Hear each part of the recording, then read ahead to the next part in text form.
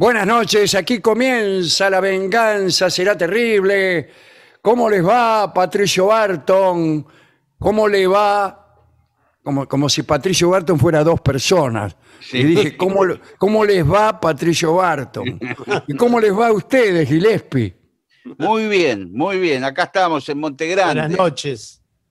Pero usted no sale de Montegrande, conoce el mundo, Sa- sale un poco. ¿Cuáles Yo son creo las que no sale ni entra porque no viven en Montegrande, señor. No, a ver, dígame, porque usted ya que es, me imagino a esta altura, ciudadano ilustre de Montegrande. ¿eh? Tengo, tengo un eh, no, eh, tengo un papel un, firmado por un intendente de los años 90 donde me declara vecino ilustre. Ah, Bueno. claro. ¿eh? ¿Cuáles Una- son las- No, no le daba para ciudadano, porque vecino era el de al lado. a- eh, arriba El dice ciudadano ilustre era el de al lado. Y usted vecino ilustre, porque vivía al lado. así- sí. A mí, a mí también me dieron ese título. el membrete Yo arriba vivía al, dice, al lado de Horacio Ferrer. Claro, qué piola. Entonces Así a él lo nombraron ciudadano ilustre y a mí vecino ilustre porque vi- vivía al lado. Acá, al de la zapatería, él este, tenía mucho, mucha esperanza en que yo fuera ciudadano ilustre. Y claro, porque iba a ser vecino ilustre. Iba a ser ve- vecino ilustre. Ahora, usted, Gillespie, que conoce tanto Montegrande, nos dirá, sin ninguna dificultad y de corrido, cuáles son las calles que limitan el- a la localidad de Montegrande. son rutas directamente. Eh, no, no calles, rutas. Eh, tenemos el camino de cintura de un Ruta lado. 4, Ruta 4, Ruta 4, claro. claro. Eh, de- del otro lado, bueno, es un poco difuso, digamos. Claro. Hay- Su conocimiento es un poco difuso, no, especialmente. se, va- se va, los límites se van como en un degradé. Sí, claro. Usted no está en. A mí me pasa eso también con, las- con los lugares que no conozco. Eh, de- de- en el otro extremo es la ruta que va, eh, que, que surca Canning, digamos, entre Esteban de Echeverría y Canning. Creo que es la, La calle de- Cani, sí, la conozco. Bueno. Ahora, ahora se llama Escalabrini Ortiz. Pero no, nunca pensé que era tan cerca Montegrande. No, la localidad de Canning, usted dice la Ruta 52. Sí, la Castex, se llama Castex, Castex. después se transforma en la ruta Como quien va 52. para San Vicente. Sí, Sí. señor, es esa. Que Es pasa por la rotonda de San Vicente. Del Bueno. otro lado, la Richieri. ¿Y Sí, al fondo? señor. ¿Y al fondo? Bueno, Es un este es, es un programa extraordinario que estamos haciendo hoy, con límites de Montegrande, recorridos de colectivos.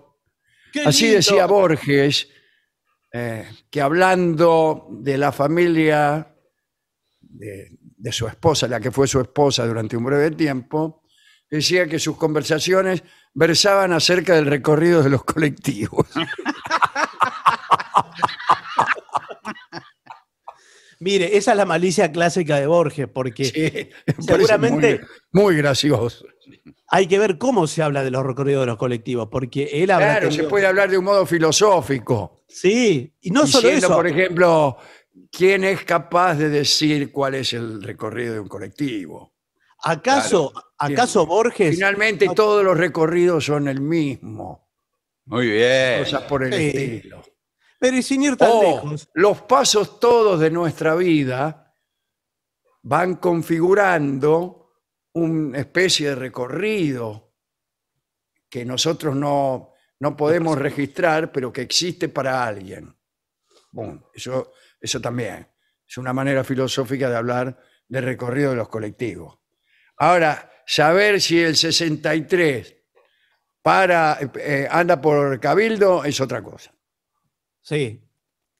Le decía de la malicia porque seguramente Borges con Bioy Casares tuvieron muchas de esas charlas domésticas que bien podrían haber sido sobre colectivos y las tenían sobre quizá Es peluquería. que a Borges, les- a Borges, a Borges Sí. le interesaba. Hoy estoy eh, nombrando por dos las personas que son solo una, pero en Sí. el caso de Borges, eh, la S final suele confundir a muchos incautos como yo, creyendo que se trata de dos personas. No hay Ni dos. hablar de Ortega y Gasset.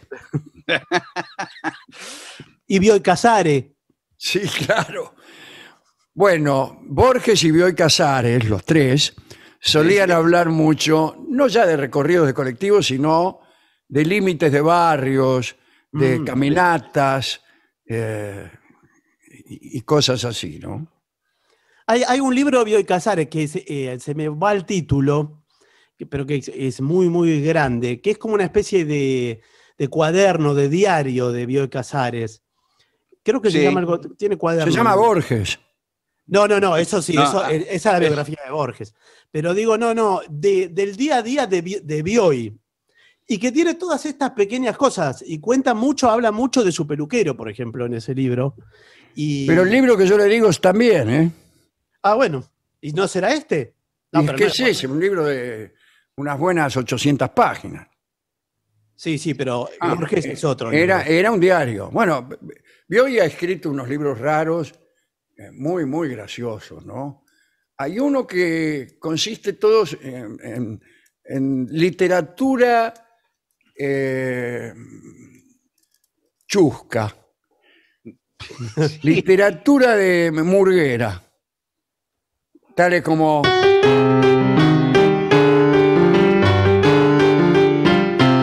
Eso figura.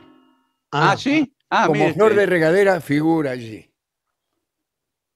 Y, y si pública es la mujer, bla, bla, bla. Todo, todos esos versitos chuscos que me enseñaba mi abuelo están en ese libro que creo que se llama De Jardines Ajenos. Ajá. ¿eh? Es un libro de una colección, las 100 mejores poesías chanchas de la lengua castellana. muy divertido, muy divertido. Bueno, eh, No sé cómo llegamos hasta aquí, bueno, por los colectivos. No, sí. Ah, por, la- por los límites de los partidos de, Sí. de bonaerense. Hablando de límites, tengo aquí un informe de la Embajada Norteamericana.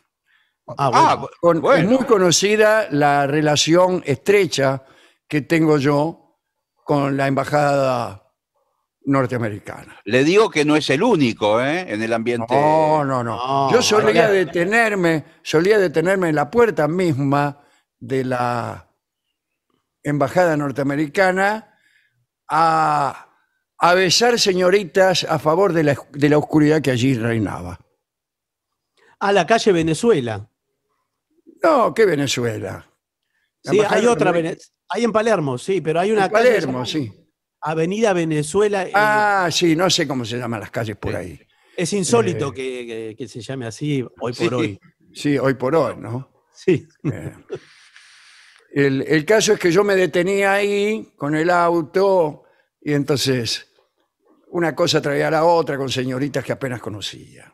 En, en otra época en que yo era una persona poco Lo- recomendable. Escúcheme, lo deben tener filmado eh, por todos lados a usted. Sí, porque Claro, ahí hay pero cámaras. Eso lo sé ahora. En algún momento de mi vida comprendí que en aquellos momentos de solaz para mí, seguramente estaba siendo filmado y hoy soy el haz- hazme reír de Del embajador. no del- de, los, mini- de los ministros de Biden.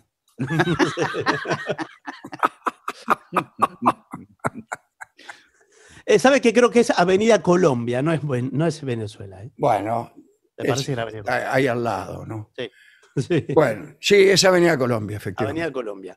Ahí en Palermo. Bueno, eh, la eh, embajada, aprovechando mi am- amistad y el conocimiento estrecho, aunque invol- involuntario, que tienen de mí, eh, me ha mandado este informe, que es para los ciudadanos norteamericanos que residen o visitan la Argentina, Ah, Sabiendo- está bien. sabiendo que muchos ciudadanos norteamericanos escuchan este programa. O sea que usted tiene una información eh, reservada, calificada. Es lo que- una información top secret. Sí, sí. Ah, bueno, bueno, bueno. las pastillas que mejor hacen a tu garganta. Top secret. Bien. Eh, el caso que- es que el informe es sobre esto. Em, mensaje de seguridad para ciudadanos estadounidenses. Es importante conocer los alrededores para no ser víctima de delitos. Bueno. Cono- Bueno. señor norteamericano, conozca los delitos que generalmente se reportan a la embajada. En general son robos no violentos o hurtos, Hurtos. en especial en zonas turísticas como La Boca o Recoleta, que son exactamente iguales. No, no, son distintos los robos. Sí, pero a los ojos de los Estados Unidos son iguales La Boca, Recoleta. Yo mismo. creo que, yo creo que en Recoleta sí se sienta a comer en un restaurante. El. Claro, eh, los dueños de los restaurantes serían en este caso los victimarios. Bien, eh, recuerde, amigo norteamericano, o, recuerda, oh joven americana que escuchas este programa, que puede ser víctima de un delito en cualquier momento del día. Eso es lo que tiene la Argentina. No hay horario. Sí, sí. Es- No hay, no hay horario. Me causa risa y sorpresa este aviso estrafalario, pues ha de saber la empresa que el robo no tiene horario. Bien, eh, es común que los delincuentes estén bien vestidos. Ah, en la Argentina eso es lo que tenemos. El delincuente Vestido. siempre bien vestido. Es más, si usted quiere distinguir a un delincuente, fíjese si está bien empilchado. Claro, por eso nosotros damos prueba de honestidad con nuestro aspecto. Claro, nu- nuestro aspecto proverbialmente andrajoso Sí. da cuenta de nuestra calidad moral. Es común que a los delincuentes es, no pueda entonces identificárselo fácilmente. No como en otros países donde van con una gorra, una, un antifaz Sí. y, y una porra en la mano. Para mayor información sobre recursos para víctimas de delito, haga clic aquí. ¿Dónde? No, bueno, ¿Dónde? eh, me Aquí. imagino. No, señor, me imagino que. Usted porque Es eso el- lo bajó de un sitio de internet de la embajada. Sí, lo bajó de la. de- tiene que ser un Y botón. bueno, que yo hay- lo bajé directamente. A ver, si quiere, si quiere seguir, tiene que hacer clic aquí. Consejos. Vigile carteras. Eso Sí. parece escrito por un erge- eh, extranjero, ¿no? Sí. Vigila carteras. Vigile carteras, mochilas, laptops y equipaje, en especial en el transporte público, aeropuertos, terminales de autobús y restaurantes. En particular en los restaurantes, deje su cartera sobre la falda. Si Y usted está en la falda. Claro, mientras está almorzando, por ejemplo. Mientras Tienes- usted pide falda, por ejemplo. Sí. No, pero Eh, mucha gente las cuelga o la apoya en un. Claro. La silla. Bueno, acá dice, deje su cartera sobre la falda. No la deje en el piso o colgada de la silla. A la falda, me imagino. No, no, a la cartera. No, no, no va usted, señora o, o joven americana que escucha este programa, a, a creer que en la Argentina, al, al cenar en Pedemonte, nos bajamos la falda por el piso o la No. colgamos de la silla. Señorita, por favor. Pero, no, pero es muy incómodo cenar con la, la cartera sobre la falda. Y se con le la van falda en el cayendo- piso no le digo. No, pero se le van cayendo las cosas arriba de la cartera. Sí, se Es le va muy cayendo. claro, se te cae todo, el tuco, los ravioles, todo, todo. señor. Después sabe lo que tiene esa cartera. Claro. Tenga cuidado con el truco de la mostaza. ¿Cuál es? No lo conozco y ¿Cuál vivo es? acá. Yo no lo conozco, ¿eh? Y soy Me argentino. parece- Y me acá lo que- describen, pero es muy malo. Me parece que le tiran un chorro de mostaza a la camisa. eso. Una de las Ah. personas distrae a la víctima, ponerle tirándole mostaza, y la otra se ofrece a limpiársela. Sí. Sí. Acá mezclan una pregunta de la hora que es totalmente innecesaria. Porque, Porque- claro. Y, También y un tercero le roba la billetera o cartera. Me parece que es muy, muy, muy complejo el truco. Pero eso- de- No, no, Primero bueno. que eso habla de no. un emprendimiento de tres, tiene que tener Claro. mucho. es que acá en la Argentina estamos tratando de multiplicar los emprendimientos. Sí, bueno. pero- Eh, eh, yo les explico cómo es el procedimiento. Hay una. Perdón, ¿usted quién es? ¿Usted quién es? Un, un ladrón, evidentemente. No, yo trabajé muchísimo en la Embajada de Estados Unidos, Ah. pero no en, la, no en la parte, digamos, de do- donde está eh, el embajador, sino en la parte administrativa. ¿eh? ¿Y qué hacía en la administrativa usted? Oficinas administrativas. también. ¿Cómo también? Eh, eh, escúcheme, el procedimiento es el siguiente. Viene una persona con un pomo de mostaza, le tira un chorro de mostaza en la camisa. Carnaval, el- carnaval, le grita para enfatizar la cosa. usted se sorprende porque, bueno, le aparece una mancha en la camisa. En ese mismo instante aparece el segundo ladrón que dice, ¿qué hora es? Y usted tiene que, mientras se limpia, tiene que mirar el reloj y decir la hora. Pero, ¿cómo alguien, usted cree verosímil que a un tipo que acaba de caerse le mostaza arriba se va a acercar un tercero a preguntar la hora? Hoy que nadie tiene Mire, reloj, lo, además. lo inventaron en la embajada norteamericana, todo puede ser posible. Porque Mientras directamente, eh, que si, si se comide a limpiarlo, puede ser que ese sea el otro chorro. Pero no Bueno. necesita preguntarle la hora. Bueno, Evidentemente no es un buen truco. no, No. No. no, no. Use bolsos que se llevan al frente del cuerpo, no a Sí, triqui. Eso, Sí, ¿cómo? eso nos lo dicen a cada rato. No hace falta ser de la embajada norteamericana para decir eso. Después, también póngase la mochila al frente eh, en lugares con mu- mucha gente. Es decir, la mochila se la tiene que poner al frente y estar solamente en lugares con mucha gente. Sí. No, no, bueno. O, o entendí mal. No, O entendí entendió mal. mal. sí, entendió no, mal. entendió mal. Cuando está en lugares con mucha gente, la mochila va adelante. Ah, y cuando está con, con poca gente, se la pone atrás. Sí. No, no, no es de mucha gente. Déjese Bueno, entonces adelante. no, no sé lo que estoy leyendo. Eh, no, no Déjesela- alcanzo a entender. No, siempre adelante, déjesela. Ah, ¿y entonces para qué me, me hace la aclaración en lugares con mucha gente? Ahora, no, bueno. Ahora dígame cómo hace un gringo, vamos a llamarlos así. Sí. ¿Cómo, cómo, cómo hace un, Un un gringo. gringo? Sí. un gringo. Por ejemplo, cuando va a bailar, eh, veo que el gringo se para a mirar cómo bailan tango ahí en San claro. en la calle. Claro, Y- y después consiguen cosas como los tangos que se bailan en las películas. No, no. Como, como Gracia, la bailarina, saca al gringo a bailar y le enseña unos pasos ahí. No pasos que son falsos.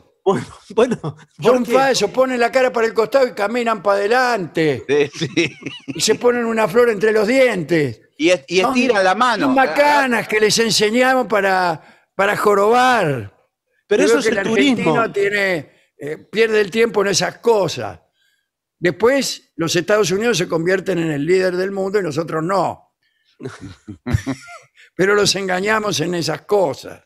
Bueno, pero porque es lo turístico. Ahora dígame cómo hace el gringo con la, teniendo la mochila adelante para bailar un tango con ese obstáculo tan, eh, tan contundente como es una mochila. A lo mejor por eso bailan así. Ah, debe ser.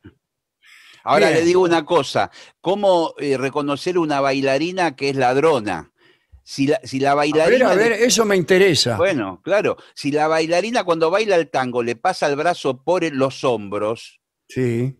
Por la espalda, es una bailarina verdadera. Si la bailarina la mano la mete en su bolsillo de atrás donde tiene la billetera, Muy bueno. es Bueno. ladrona. Y Es bueno, ladrona porque, claro, le dice, este es el, el paso que se lleva ahora. Y le mete la mano en el bolsillo de atrás, Sí. en el, en el grilo. Y ahí usted, oh joven norteamericano, sí. eh, dice, le dice, le puede decir, usted es ladrona. Sí. Ahí le puede decir, pero ¿sabe qué? Como el gringo tomó la precaución de no guardar la plata en un bolsillo, no va a ser tan obvio, Claro, él la tiene en una riñonera, en la ingle. claro. E- Ese, ese paso todavía eh, es peor, es más sospechoso. O sea, si usted va a bailar tango, sea norteamericano o no, vamos. Sí. ya y, estamos. y la, la persona que baila con usted le mete la mano en la riñonera que usted lleva en la ingle, Sí. eh, no sé lo que me pesco. Y bueno, sí, se puede pescar No sé, una qué, fortuna. no sé qué decirle. Depende el, el monto. Sí. Bueno, sí, lo que fuere, se trata de qué? De un hurto. Claro. Eh, claro. Eh, Usted está poniendo la mano en el hurto. No, en la ingle. Ah, English. Sí, I speak English. Sí. Mire, la verdad que me están dando ganas eh, a mí de afanarlo. Tengo ganas de afanarlo ahora mismo. Ahí tengo el monto. Bueno, dice, no se mueva por lugares que no conozca, en especial por la noche. No se mueva. Bien. Sí. Sí, no ande. No llame la atención como extranjero, ya Claro. sea hablando en voz alta o provocando un disturbio. Ya se sabe que los extranjeros se distinguen por hablar en voz alta y por provocar disturbios. Lo que quiere decir el informe es que Ah, cosa è questo? ¿Pero qué es? Cosa è successo? Usted no tiene que eh, hablar con nadie si usted es extranjero. Si, por ejemplo, tiene que transitar en silencio. Si se sienta a comer a un restaurante, no habla para que no se note que usted es extranjero. Que usted no es argentino, hágase el argentino. Claro. Es difícil. Claro, pero es- un argentino en silencio también es una cosa es sospechosa. ¿no? sospechoso. Sí, sí, sí. Bueno, mantenga un perfil bajo. También se van a dar cuenta que no es argentino. Para no ser objeto de un robo. Después, no use joyas, ni relojes valiosos, ni llamativos, ni deje a la vista cámaras de fotos, celulares u otros aparatos de valor. ¿Y para qué soy rico entonces? No, y además, ¿para qué es turista? Si, ¿Y para qué soy norteamericano, rico y turista? Sino para dejar a la vista todas esas cosas. Para eso me hago argentino. Claro. Que sí, No, usted, usted, usted si va a salir, si va a salir a recorrer la ciudad, le doy un consejo. Sí, Tiene- voy a salir a recorrer ciudad. bueno, tiene que ponerse unas bermudas, una camiseta y unas zapatillas. Listo, no Sí. tiene que llevar ningún objeto más, nada. Yo le eh, digo, Tengo eh, una camisa que se usa afuera, que Sí. muchos flores, Sí, muchos sí. flores, anteojos negros, sombrero de pajo. No, Y de paja, paja. Ah, sí, sí. Sí. Bueno, Sí. mire, eh, yo estoy, eh, soy el coordinador del grupo. Hoy les voy a hacer un city tour, los voy a pasear por la ciudad de Buenos Aires. Sí, por oh, eso sí, capital. Bueno, hoy vamos a hacer eh, el barrio de Villa Crespo. Sí, nos dijeron que Oh. esquina Homero Mansi, donde se compusieron tangos. Sí, exactamente. Usted también. Villa Crespo. El, eh, tu pelo en el crepúsculo. No. Crespo, Crespo. Mire, eh, usted. eh, ¿Los dos vienen juntos? ¿Son, son amigos Sí. ustedes? Sí, son- Somos somos- norteamericanos, ambos los dos. Sí, sí, pero son, a- son amigos. trabajamos juntos en una empresa, en una empresa de computación. Ah, bueno. Casi eh, está al borde de obtener la ciudadanía italiana. Usted. Dígame, ¿de qué lugar de, de los Estados Unidos son? Silicon Valley. ¿De Silicon Valley? Ah, muy bien. Silicon, sí, Silicon Valley. Entonces eh, saben mucho de tecnología y todo esto. No, no. Bueno, después los vamos a llevar a comer eh, nuestra comida típica, el asado. Asado, asado. Sí. Asado, asado. Allá la sombra. Y después No, otro, Una día, sombra. otro día queremos comer Asado. chorizos. Chorizos, otro día que nos lleven a chorizos. Sí, Ah, la localidad de Chorizos. Es muy lindo allí, ¿verdad? no, chorizo. Ahí es- fabrican hilo. No, no, mire, chorizo es, es otra comida que, mire, es como esto más o menos. ¡Oh! Bueno, ¡Oh! pero eso muchas ¡El veces... dinero! Apareció el dinero. Que me querían robar. Si ustedes quieren para mayor seguridad y que estén tranquilos, ustedes me pueden dar eh, sus objetos de valor, yo los resguardo, ustedes van a pasear y después con la combi yo los paso a buscar. ¡Oh, muchas gracias! Quedamos, quedamos, Sí. eh, Podemos en dejarle objetos valor. Por Sí. ejemplo, eh, joyas, sí, dinero, aparatos llamativas, Sí. todo. todo, todo, todo, todo. Ustedes pasean tranquilos por donde quieran. Le hago una pregunta, porque eh, además de la computadora y de la cámara fotográfica y la filmadora que traigo, eh, traigo una bolsa con bitcoins. También se lo puedo dejar. ¿Y cómo son los bitcoins para estar en una bolsa? Con Briscoe. Con bizcocho, bi- bitcoins de grasa tiene usted. ¿Cómo Bitcoin. no es algo material el bitcoin? No tiene. Son criptomonedas, son monedas cripto. Sí, somos eh, millonarios en Briscoe. Bueno, pero son monedas digitales. Criptomonedas que antes valían un dólar, ahora 10 mil dólares cada Bueno, moneda. Todo, todo lo ponen acá en esta canasta. En esta, eh, ¡oh, canasta! Canasta. ¡Sombrero! No, baja. no. No, no, no. Canasta, llenan la canasta con todo lo que tengan. Y yo los paso a buscar en media hora. Bueno, Quedamos bueno. ahí en, en Corriente y Eduardo Acevedo. Y, y Acevedo, no Eduardo. ¿Qué hacen? Corriente y Acevedo. Lo, en esa esquina, yo los Sí. voy a levantar con la combi. ¿Estamos? De media Bueno, hora. Bueno, ahí lo esperamos, lo esperamos. Mientras le doy otros consejos, dice. Deje su pasaporte en la caja de seguridad del hotel y lleve con usted solo una fotocopia.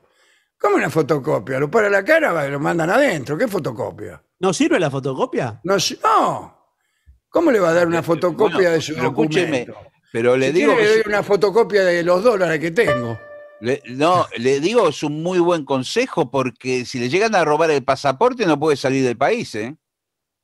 Eh, bueno. No puede, no puede salir de la Argentina. Bueno, la, para eso, la ¿para totalidad de los ciudadanos americanos que viven en Argentina es porque perdieron el pasaporte.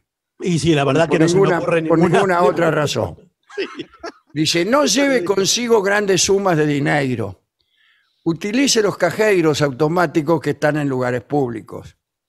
En caso de ser abordado, no se resista. No, no, yo no, no me lo resisto. Eh, entregue lo que le piden. Sí.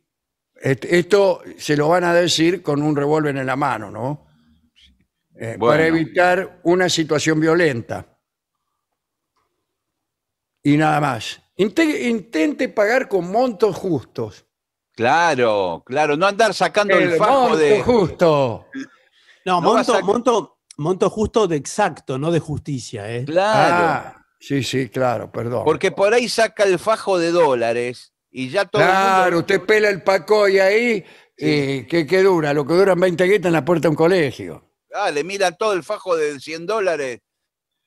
Bueno, y evite que le entreguen billetes falsos con el vuelto de esa manera. ¿Por qué? Claro. Y- y Porque al no haber vuelto, Claro. quédese con el vuelto. Ya con eso usted evita que le entreguen billetes falsos. Sí, bueno, pero Bueno, pierde sí, el pero- vuelto. Ah, bueno, todo no se puede. Bueno, Verifique los billetes que le entregan colocándolos al trasluz.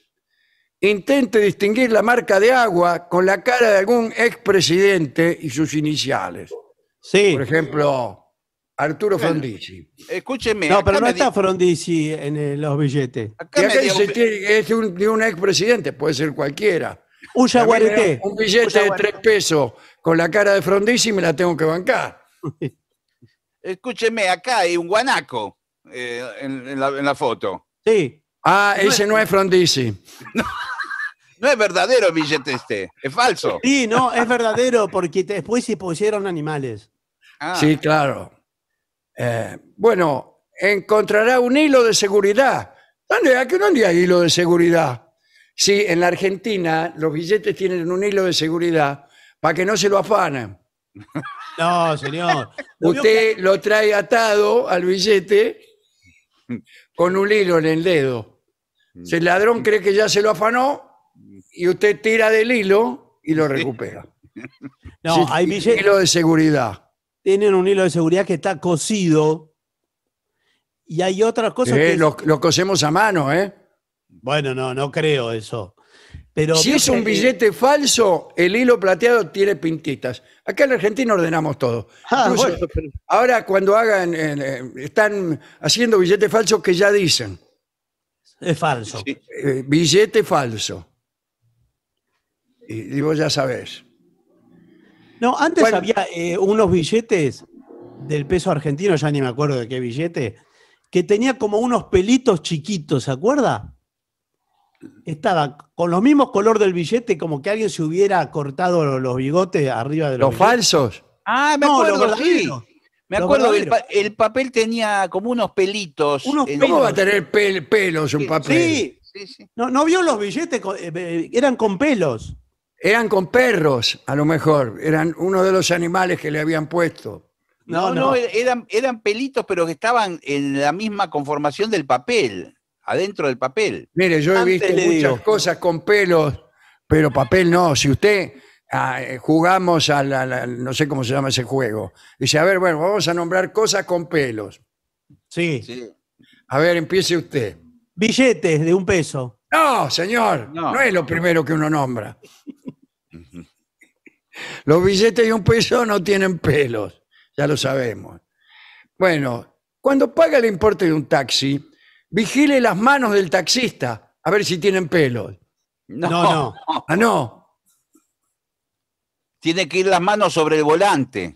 Eso Está- quiere eh, decir. momento, la Embajada de los Estados Unidos está dudando de la moralidad de nuestros taxistas. Sí, sí, sí, Este- sabe que sí. Que co- corre Ah. por cuenta de ellos, ¿no? Sí, sí. Digo porque no sería nada extraño una marcha con bocinazos frente a la Embajada de los Estados Unidos por parte de los taxistas que han sido puestos en duda. ¿eh? Así que, bueno. Bueno, eh, quedan pocos con- consejos, quedan, ¿eh? Generales, cómo protegerse del delito. Este, Sí. al llegar a su casa o norteamericano que escuchas este programa, ¿debes entrar con el auto en el garage o estacionar en la calle? Ahí está No, una perdón, pregunta. ¿pero usted viene de vacaciones o vino a vivir?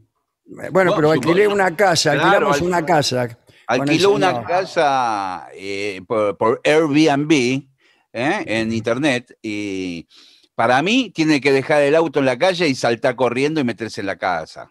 Claro, Ah, es ¿por una casa de una familia que está de vacaciones y que nos alquila a nosotros. Digo yo, sin acento ya norteamericano porque me estoy acostumbrando. Sí, enseguida agarró el tono, ¿eh? Muy bien. Sí, sí, sí. Si nota algo extraño o que lo siguen, no entre. No entre. No importa. Sí, ¿y a dónde va? ¿Sigue de largo hasta Nada, sigue de largo. ¿Pero qué, Y advierta por celular a un conocido. ¿Qué conocido Eh, si conocido tengo que llamar a Milwaukee.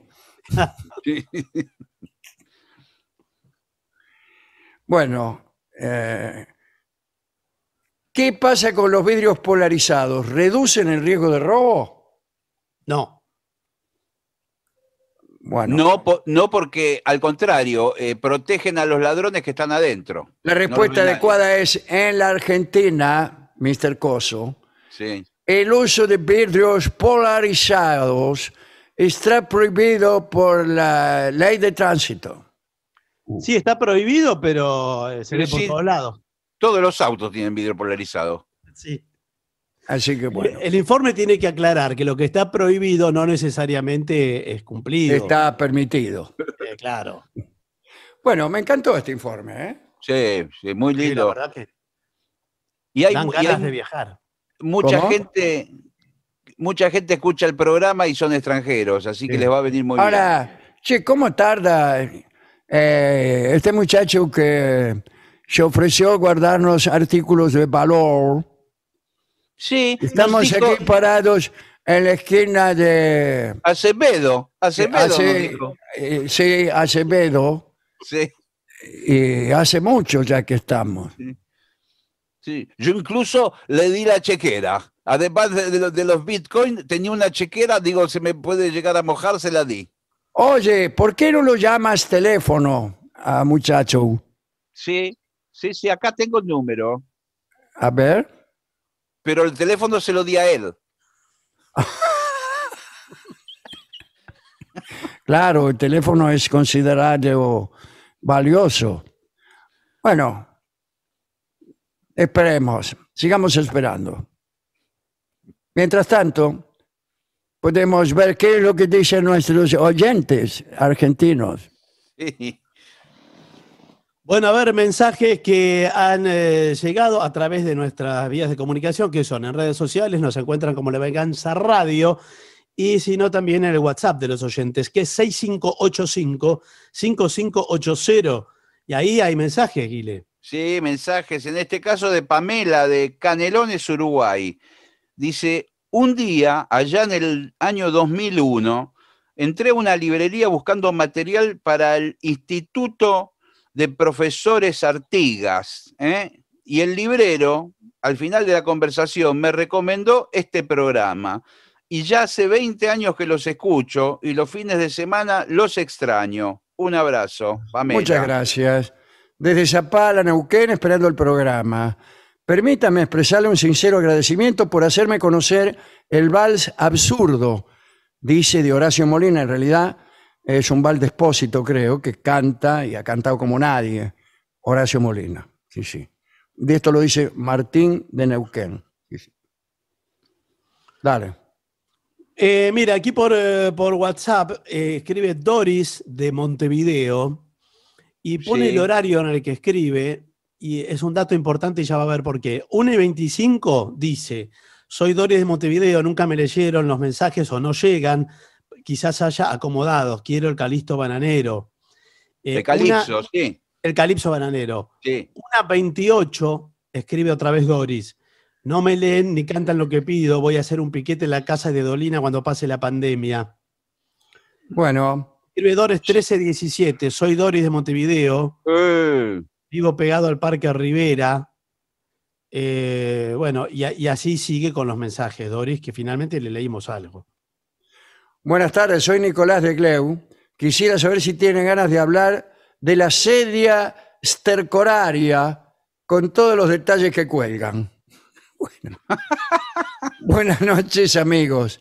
Alejandro le pido, suponiendo que la conoce, cuente a la audiencia la historia de la canción Stephanie de Alfredo Citarrosa y qué bueno sería que pudiera cantarla. No conozco la historia de Stephanie, conozco la canción Stephanie.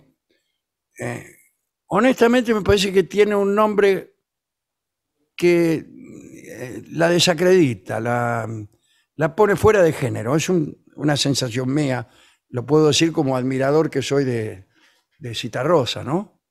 Pero si en vez de Stephanie se hubiera llamado Angélica, sí. la canción me hubiera gustado más.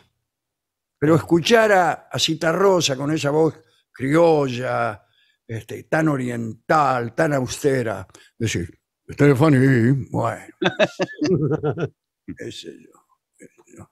Esto lo dice Lito Ríos de Casilda, ¿eh? Dale. Bueno, nos escribe Oscar de Montevideo y dice, siendo joven, iba a Buenos Aires, entre paréntesis, la gran ciudad, eh, y concurría a las peluquerías del centro eh, para afeitarme. Y como paso previo, ofrecían fomentos que consistían en aplicar en la cara toallas calientes al vapor para ablandar la barba. Y las, Sí. extra- las extraían de un calentador a gas, ¿eh? Y Sí, no, eh, no moríamos todos en la explosión porque Dios era grande. Bueno, dicen, y no, eran calentadores, no eran autoclaves. Oscar de Montevideo. Bueno, soy cirujano hace 20 años. ¿Qué tal? ¿Cómo está? Los escucho de, los escucho sería mejor, desde antes de recibirme. Eh, el autoclave se usa para esterilizar el material quirúrgico. Es uno de algunos de los métodos que usamos. Ya sé que ayer lo dijeron, pero bueno, para contarles Bueno, algo. Dolina, estoy leyendo Gardel de Piña. ¿Usted colaboró algo por ahí? No, no, no, para nada. Abrazo No, pero- a los tres. Algunas anécdotas eh, intercambiaron allá en, en Barcelona. Hemos conversado mucho sobre Gardel, incluso en. Barcelona. Estuvimos una noche Sí. cuando él estaba preparando el libro, pero yo no, no, no, no le dije nada que él no supiera. Esto lo Una- dice una Matías. ¿Eh? Una noche que era su cumpleaños, además. Era su Una noche cumpleaños. que era mi cumpleaños, sí. que además era su cumpleaños. Mire, aquí hay, hoy hay muchos mensajes del Uruguay. Y, y muchos, por lo que estoy viendo, eh, nos aclaran que allá sí hay sándwiches de miga, al igual que acá, Sí, que se claro. llaman- que se llaman olímpicos, los triples. Sí, sí. Tráigame un olimpio, un olímpico y. Dice que el de miga le dicen sándwich y el otro, eh, el sándwich nuestro, es el refuerzo. Lo que El llaman- refuerzo, sí. Esto lo dice comer un refuerzo con la Nelly. Esteban de Alicante, los escucho todas las mañanas mientras trabajo. Sí. He notado que esta semana estáis de mejor humor. Me alegro mucho, es verdad. Mire Sí, qué, buen, eh, qué buen oído. Tiene Angelina muy buen oído. No estábamos muy bien de salud, sabe usted. En serio, ¿eh? Me empiezo a reír y mi pareja española me dice, ya estás con tus amigos de la radio. Son todos payasos los españoles.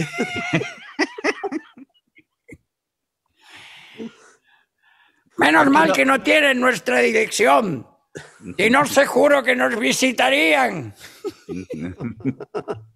Bueno, un abrazo, gracias por el buen rollo, dice Esteban de Alicante. En la misma línea, mire, que decía Angelina de Barrio Sur, que es lo que dije antes de los Olímpicos, algo parecido dice Ana eh, de Montevideo, pero que está en Barcelona, cita a, a una confitería de Marcelo T. de Alvear y Suipacha, que hacían unas medialunas espectaculares y grandes sándwiches de miga. Bueno, ella trabajó, trabajó ahí. Y Gastón Mego de Rocha, Sí. eh, también dice otro tanto y dice que este equipo de la venganza es su preferido. Escuchaba el programa de antes, dice. ¿eh? Ah, bueno, no. Bueno, felicito. bueno. Ya se sabe cómo terminaron. Escúcheme, escribe Mónica de Valvanera Sí. y dice, Gillespie, Gillespie tiene razón, el hospital Pedro Elizalde es el hospital pediátrico más antiguo de América. Sí, incluso siguen con las mismas tecnologías de hace 120 años. Sí, Bueno. estamos preservando los mismos medicamentos, los mismos médicos. Y los niños, y los niños ya son viejos, inclusive. Sí, sí, claro. Ahora eh, han tenido que adaptarse. Es un hospital geriátrico ahora. Bueno, dice, también, también fue llamado Casa Cuna. Está La ubicado casa en, Bar- cuna, sí. en Barracas. Ese en mensaje Constitución, claro. Todos los mensajes que dicen Gillespie tiene razón los escribió usted, digamos. Bueno, bueno. Soy Cristian de Montserrat. Quería decir que Barton tiene razón. ¿Vio? Por otra Bueno. parte, me encanta cuando el maestro toca el tango de la flor de regadera. Muy bien. ¿Qué más? ¿Sabe que eso eh, después le queda grabado? Estuve la otra noche, no me podía dormir con esa melodía. Sí, sí. Se- se es un meme. Sí, sí, es un meme, sí. Sí. Dale. Bueno, Eh, Rubén, tenemos- de, perdón, Rubén de la Capital dice, es muy complicado simplificarle la vida a la gente si nuestros datos personales están registrados en la ANSES, está la huella digital y salen todos los datos. ¿No podría aparecer un cartel que diga, ¿desea recibir la vacuna contra el coronavirus? Y apoya el dedo si pone sí o pone no. Y listo, nos da la idea ¿Cómo es? ¿Cómo es? A ver, dígamelo. como es de Capital. ¿Qué Porque es verdad ¿Cómo que en, eh, en la ANSES están registrados todos nuestros datos, como en la, el RENAPER, como Ajá. ciudadanos. Sí, Entonces él dice, bueno, pone el dedo ahí y le salen todos los datos suyos. Sí. Del mismo modo le pueden preguntar, ¿se va a dar la vacuna sí o no? Usted pone sí, le dan un turno. Y- Pone y no, Se la dan, claro. Está muy bien eso, ¿eh? Le vendría muy bien a mi tía.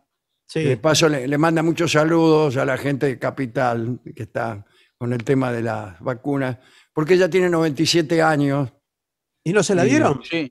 Todavía no se la dieron. diga que es afiliada a una prepaga. Pero Sí. bueno, estaba, estaba un poco enojada. Mi tía, no sé bien cómo es el asunto, no me quiero meter. Bueno, Sí, porque pero- hay No, vacunas no, que no se me quiero meter, no, no me, no me quiero meter. Pero tiene 97 y todavía no se la dieron, si me permite la forma de decirlo. Sí. Bueno, Eh, les cuento que el Etel de Berizo, justamente que nos escribió, dice, les cuento que ayer tuve la dicha de ser vacunada. Estoy Ah, exultante, ¿eh? exultante, feliz eh, de recibir mi dosis. ¿eh? Bueno, Et- Etel de Berizo, un fuerte abrazo. sí, sí, bueno. Hola, Vengadores, aquí Juan. Estoy totalmente en desacuerdo con que la frutilla no es rica. Todo lo contrario, es deliciosa. Bueno, Bueno, y Que no nada se más. puede discutir sobre gustos, ese es absurdo. Eh, Sobre Ezequiel- gustos no hay nada escrito. Sí, no, no, es absurdo. Eh, soy Ezequiel de San Juan, dice, me llamó la atención lo de la gata peluda. Acá en San Juan se la conoce como cuncuna. Nunca lo había escuchado. Es ¿eh? mucho mejor gata peluda, discúlpeme. Pero Cuncuna es más amigable. Sí, es menos peligrosa, evidentemente. Sí. Dale. Acá nos ¿Qué escribe? Juan, Juan Roger, eh, es la primera vez que escribe, pero escucha el programa desde que usted estaba en Radio El Mundo, así que imagínese. Eh, y le pregunta el, el nombre de una canción que cantaba su padre, eh, que la letra dice algo más o menos así, ¿te acordás, Milonguita? Vos eras la Sí, el tango- se trata del tango Milonguita, muy Ah. conocido. ¿Te acordás, Milonguita vocera? La pebeta más linda y chiclana, la pollera, corretón y las trenzas, y en las trenzas un beso de sol. Y en aquella noche de verano que soñaba tu almita mujer, al oír en la esquina algún tango, chamullar debajito de amor. Estercita, hoy te llaman milonguita, flor de lujo y de placer, flor de noche y cabaret, milonguita. Los hombres te han hecho mal y hoy darías toda tu alma por vestirte de percal.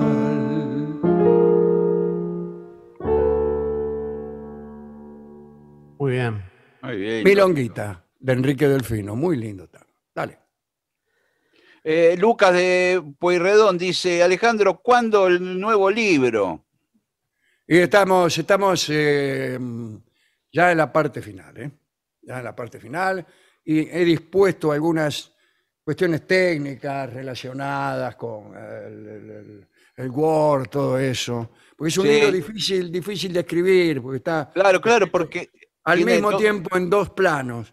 Claro, las notas al pie, ¿no? Ah, claro. Por un lado están, arriba están los cuentos y abajo las notas al pie, que van creciendo poco a poco y es necesario diseñarlo con cuidado. Claro, tiene que coincidir. Pero va a salir este año, eso sí lo podemos Va a salir este año, seguro, sí, sí, sí. Sí, sí, sí. La palabra para salida en las rutas alemanas es Ausfahrt. Ah, Ausfahrt. Les cuento que cuando llegué aquí pregunté quién había sido Alexander Platz, porque pensaba que Platz era el apellido. No, Platz es plaza. Bueno, A, mí todo me así. pasó. en- Esto lo en- dice Lu de Berlín. Debe ser Lu Salomé, evidentemente. Dale. A mí en Alemania me había pasado algo parecido, que las calles terminan diciendo Strasse, pero con esa Strasse, claro. larga. Se, llaman todos Strasse acá. Claro, dije todo así. No, es como, es calle, es como street. Sí, Ah, pero Strasse. ese era, ese era medio fácil, ¿eh?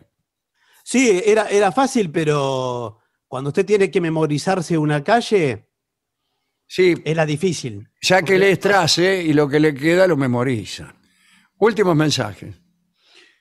bueno, eh, dice acá Christian Lauer de Castelar, eh, por la tarde encontré un registro del que supuestamente fue el último castrati, su nombre Alejandro Moreski.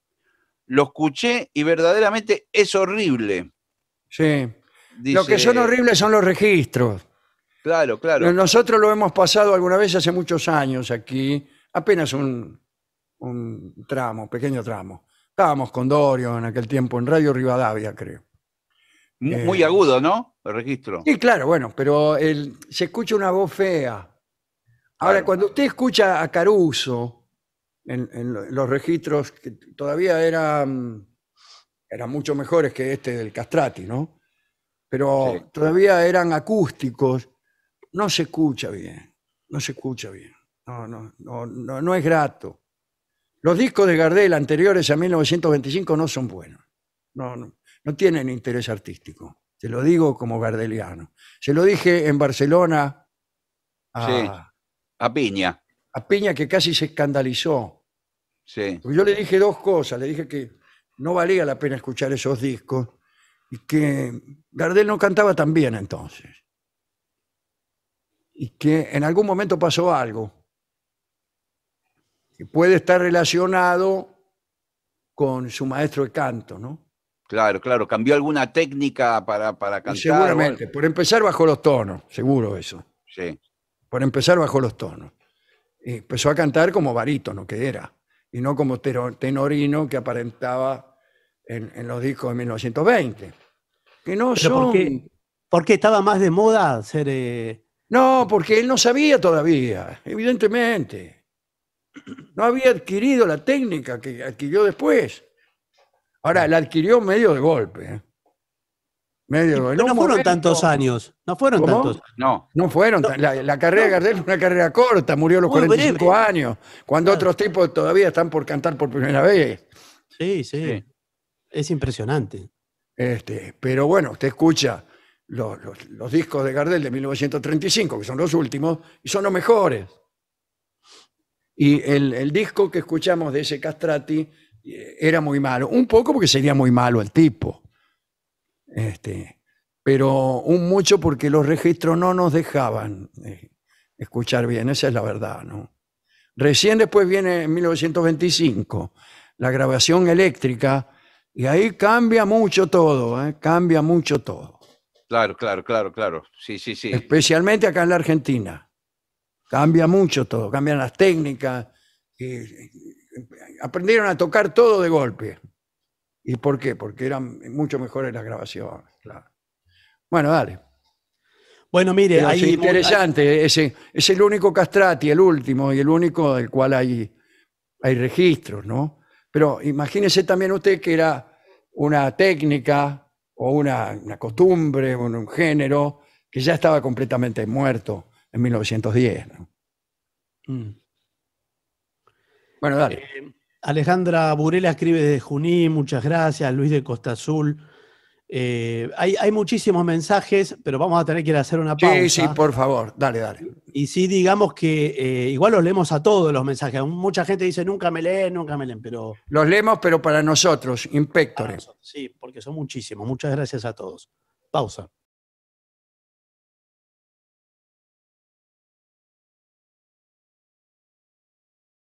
Continuamos en La Venganza Será Terrible por las 7.50. Estamos cada uno en su casa. Recuerden que nos pueden contactar por el WhatsApp que es 6585-5580. Y si no, en redes sociales nos encuentran como La Venganza Radio. Hablaremos esta noche de algunas metamorfosis, no tan conocidas, que no son tan difundidas. Si hay algo que me gusta es que la gente se convierta en otra cosa. Sí, sí. es una sí, sí. condición indispensable también para que una obra de teatro crezca, para que el teatro sea interesante. Si nadie se convierte en otra cosa, si no hay cambio en los personajes, tampoco avanza la situación. Y así la vida misma nos transforma día tras día. Muchas metamorfosis de los mitos griegos, de las que hablaremos hoy, fuimos, fuimos no, fueron provocadas por situaciones de índole amorosa. En algunas ocasiones los dioses castigaban con metamorfosis descendentes, es decir, que de lo mejor hacia lo peor, a quienes no respondían a un amor, y en otras, en cambio, era indispensable la metamorfosis para escapar de un acoso poco ingrato. A vos te venía corriendo un tipo y vos para rajar te convertías en una caléndula. La primera metamorfosis que recordaremos esta noche es la de un personaje llamado Calco. ¿Qué tal, Calco? Sí. Que era rey de los Gaunios, un pueblo muy antiguo al sur de Italia. Parece que estaba enamorado nada menos que de la maga Circe, nuestra amiga, ¿no? Aquella que convirtió a los marinos de Ulises en chanchos. La maga, por esos tiempos, estaba con Ulises, estaba enamoradísima de Ulises, y no correspondió al amor de Calco. Pero Calco era insistidor y no se resignaba. Bueno. Y dale, ¿qué te cuesta? ¿Qué sé yo? Un día pensó que había llegado la oportunidad. Circe le ofreció un banquete, lo invitó. Calco se hizo presente, muy emocionado, pero ni bien llegó, Circe, ¿qué hizo? Lo convirtió en chancho, a él también, y lo encerró en una posilga. Los gaunios, al ver que su rey no volvía del banquete, lo fueron a buscar. Eh, tocaron el timbre, ahí eh, interrogaron a Circe. ¿Dónde está? ¿Dónde está? ¿Qué le pasó? ¿Cómo puede ser? Que el banquete, que esto, que lo otro. Hasta que al final eh, Circe consintió en, en devolver al rey, a condición de que nunca volviera a pisar sus tierras y que nunca volviera a importunarla, requiriéndola de amores. Los gaunios aceptaron y se llevaron al chancho, que ya en su tierra volvió a adquirir forma humana. Calco no volvió a insistir en sus cortejos y ya anciano solía deleitar a sus nietos con la historia de cuando él fue chancho. Les voy a contar de cu- cuando yo era chancho. Sí. Abuelo, contanos. Bien. Segunda historia. Acá, Canses era una ninfa del Lacio. Lacio ahí donde, está Roma, ¿no? Personificación del canto. Estaba casada con el rey Pico de los Laurentes, al sur de Ostia. Este, según los mitógrafos, se amaban mucho y muy tiernamente. Un día, en el curso de una partida de caza, apareció quién? Otra vez, la maga Circe, Sí. que lo vio a Pico y se enamoró de él. Ya seguro que no andaba más con, con Ulises. Para alejarlo de su séquito, ¿qué hizo? Lo transformó en un jabalí. Si no era chancho, era jabalí, siempre Sí, andaba por sí. ahí. Claro que tenía el propósito de restituirle luego su figura normal. Imagínese. Bueno, eh, Pico, separado de su esposa, eh, desesperó. Cuando Circe le declaró su amor, él la rechazó violentamente. No se sabe si ya lo había convertido otra vez en un hombre o si la rechazó bajo la forma de jabalí. El rechazo de un jabalí suele ser, eh, digamos, más intenso. Sí. Entonces, Circe, muy este, ofendida, convirtió a Pico en un zorrito. Quizá debe ser un zorrino. Mientras Sí. tanto, Canses, que en realidad era Canens, eh, desolada, o sea, la, la mujer de, de Pico, andaba errante y ahí andaba Meta a buscarlo a Pico. Agotadas sus fuerzas, se dejó caer a orillas del Tévere, del río. Mm. Dicen que cantó allí por última vez y se diluyó en el aire. Como el canto, el canto se diluye en el aire. Linda, linda esta historia y breve.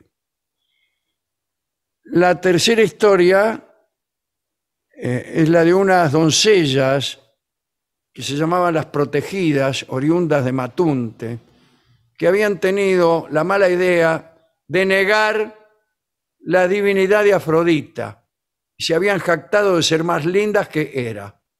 Ah, mira vos, mala cosa. Fueron castigadas, primero por parte de Afrodita, que despertó en ellas deseos que no podían satisfacer. Es el peor de los castigos. Era también, las castigó más o menos a lo mismo. Agudizó esa eterna insatisfacción, convirtiéndolas en estatuas de piedra, pero conscientes, tal como la estatua de Condillac, una estatua inventada por Condillac, que era una estatua que no decía nada, pero Sí. que por dentro tenía una vida eh, de pensamiento muy rico. Eh, Pero no, lo la po- mismo. no, lo- no podía hablar. No podía hablar ni podía moverse nada. Curioso, ¿no? Esta, ese fue el castigo de Hera para las protegidas, aquellas que habían negado su belleza, su divinidad, etc. En cuanto a impiedades, veamos qué sucedió con otra historia. Son los hijos de Edímelo. Edímelo tenía dos hijas y un hijo. Visa, Neropis eran sus hijas. Agro era el hijo, el pibe. Sí. Vivían todos dedicados al cultivo, como ya eh, veníamos sospechando, en una propiedad apartada. Tenían cosechas muy abundantes, tributaban culto a la tierra, pero despreciaban a los demás dioses. Que los dioses ni los dioses.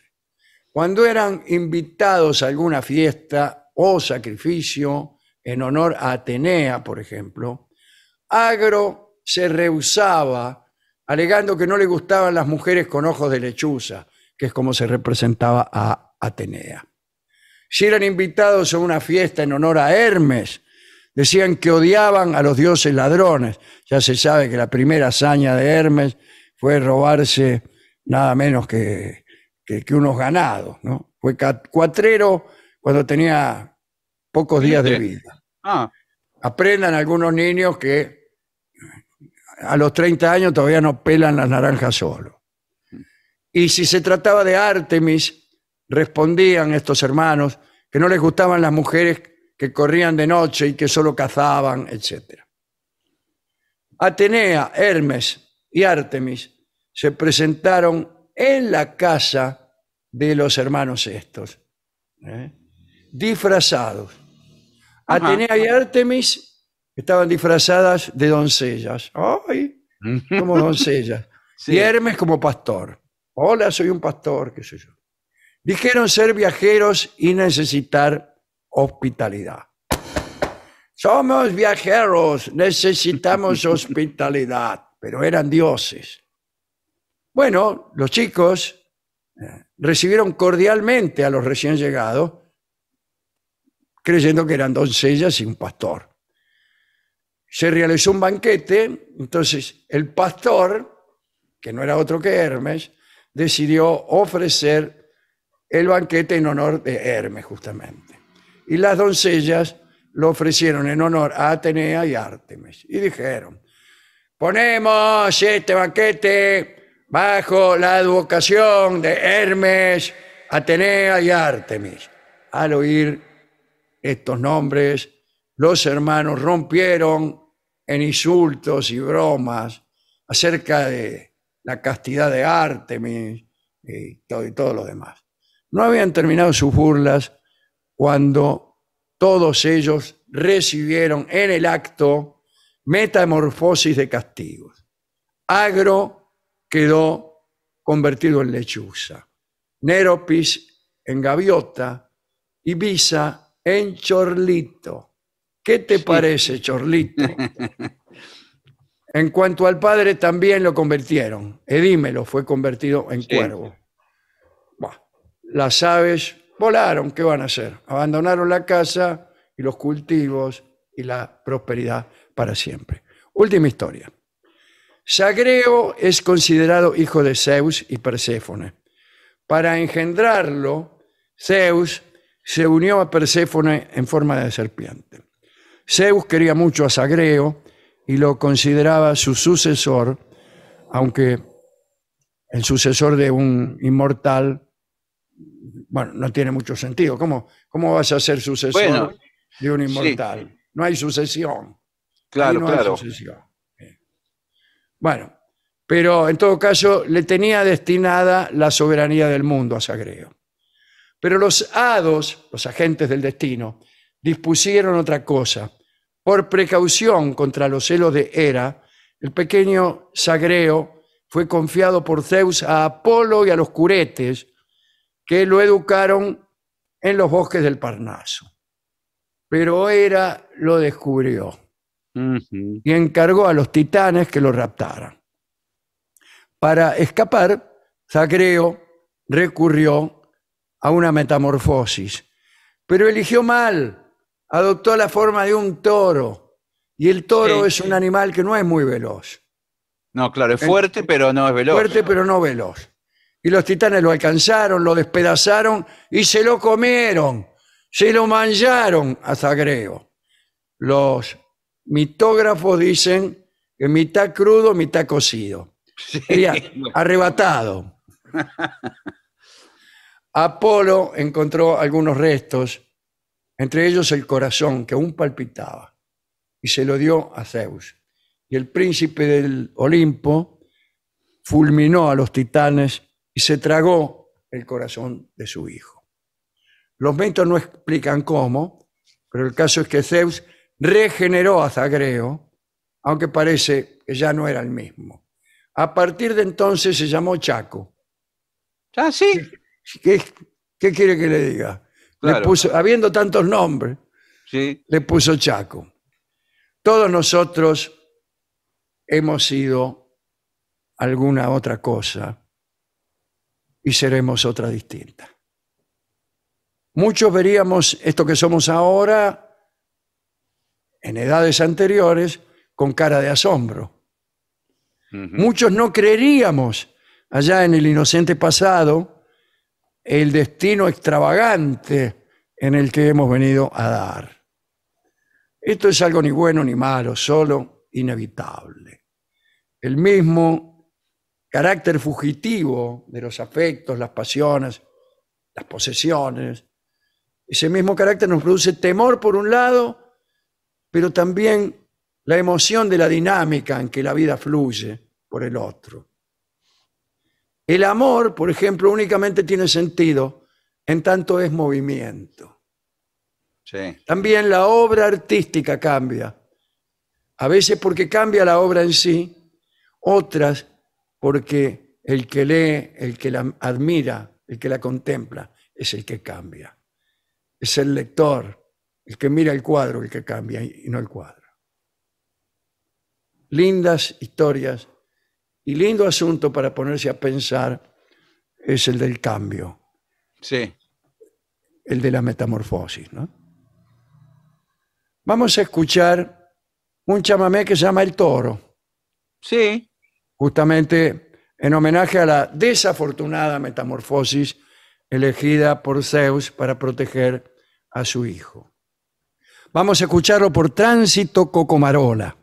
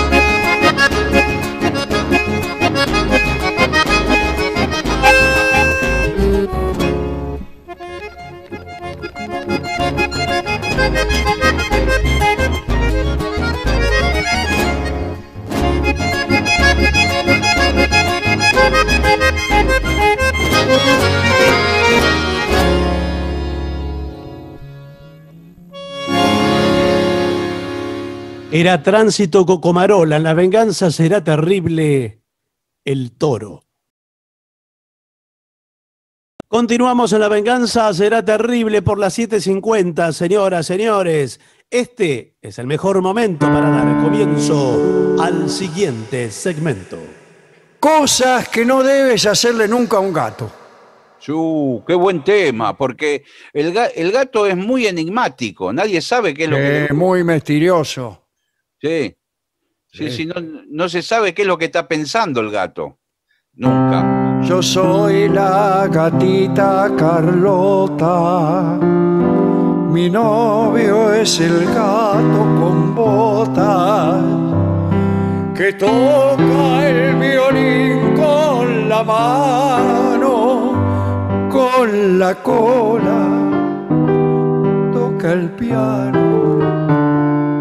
Qué lindo, ¿eh? Linda canción que me hace pensar en las cosas que no hay que hacerle a un gato, ¿no? Bueno, aquí tenemos la lista.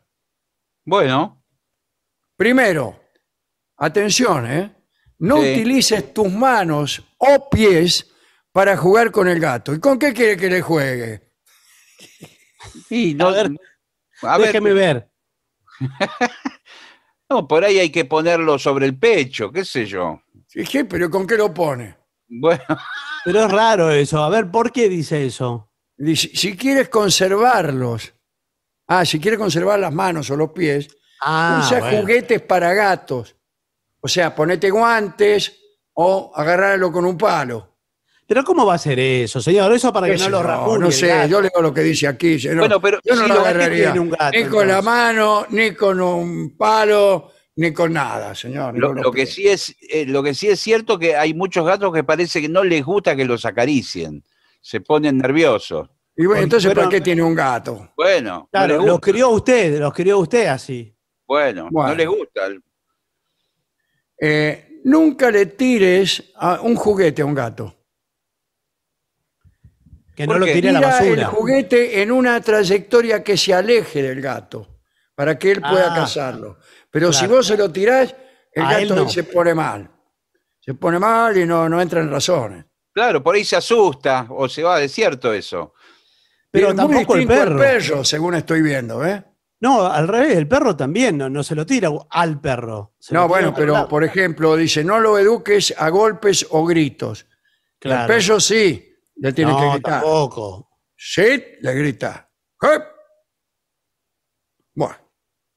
Eh, si le gritas o lo golpeas, conseguirás que el gato te tenga miedo o se defienda. Claro. Busca otras maneras, que no sé Sí, cuáles hay- pueden ser. me parece Hablarle que- bien, decirle, mirá, escuchame una cosa. Hay que hablarle como Rolón, suavecito. el Sí, gato. así. Suave. Sí, Claro. hola, mirá. Vení, gatito. A ver, vení, por favor. Bueno. No. Porque veo cuando No el gato no le, persiga. no le gusta, el gato emite un sonido que es como un soplido que es. Sí, sí. No se oyó nada, señor. Bueno, qué poquito, qué vocecita. Poquito. Ese gato está enfermo, señor. Es un gato fumador. Ah, eso no es un gato. Bien. Sí, señor. Eh, no lo persigas al gato. No lo mire fijamente si quiere que venga. No lo llame.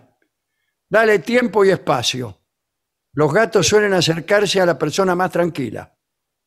Sí, O sea, para señor. hacer un concurso, a ver quién es el más tranquilo, se ponen todo ahí a ver a quién se le acerca el gato. No lo arrincones. Claro, no lo bloquees para acariciarlo porque se asustará. El famoso gato encerrado. Bueno, pero entonces es lo que digo yo. eh, si usted lo llama y no viene, y él viene cuando él quiere, Sí, usted, está, señor. usted está mirando la televisión y ahí se le ocurre al gato venir. Es que Claro. el gato hace lo que, hace lo que quiere, el gato. Y claro, bueno, pero usted cuando él venga no lo rechace. No, Dele una buena sesión de mimos. Claro. bueno. Además, No que- aproveches cuando duerme el gato para molestarlo, ¿por qué lo va a molestar? porque le molesta que lo molesten cuando... Le molesta que lo molesten, claro, desde luego. Pero le molesta que interrumpan su sueño. Sobre todo si cuando está despierto tampoco quiere que lo toques. Para un gato el descanso es sagrado. ¿Qué, qué diferencia hay entre un gato y un cenicero, por ejemplo. No, la diferencia, No, ¿sabe cuál es? Las diferencias, ¿sabe, sabe cuál Sí, es? que el que el gato es arisco y el cenicero se deja. No, y que, y que el cenicero no es interesado y el gato sí, hace lo que No, quiere. señor, usted está, Sí. eh, usted, este es un informe totalmente sesgado y tendencioso. Antigato, antigato. Claro, no, no le voy a permitir. El gato, el- El, el gato no se deja acariciar. Cuando, cuando él quiere, lo, se acerca. Cuando duerme, no hay que molestarlo. Es, un, Ah, es el señor gato. Manda él. Pero usted me parece que es un poseedor de mascotas muy patriarcalista. claro, bueno. usted quiere, usted quiere dominar. ¿Por qué no se compra un muñeco si quiere dominar? Claro, algo? ¿Por qué no se pone de Pero es un novio? muñeco. Pero- Esto es un, un gato, un ser vivo.